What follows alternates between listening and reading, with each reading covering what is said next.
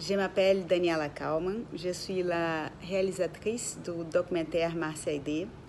On va être au Brazilian Festival des films à Paris le 13 avril à 16h20 au théâtre L'Arlequin.